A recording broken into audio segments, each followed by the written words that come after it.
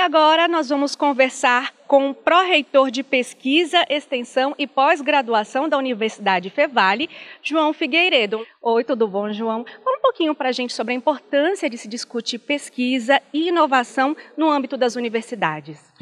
Sem sombra de dúvida, esse é um evento que impacta de uma forma positiva né, um país que tanto necessita de recursos humanos para trabalhar com áreas de tecnologias sociais, mas também na transferência de tecnologia. As nossas universidades hoje têm que sair de um viés de produção apenas de um paper.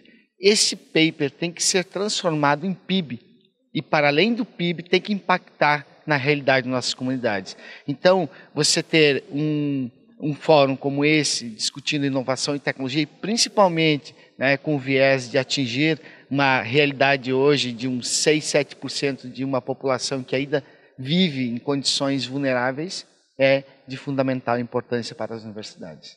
Joia, obrigada. Você continua acompanhando tudo da primeira Conferência Internacional de Inovação Tecnológica em Saúde aqui na página do Laís no Facebook.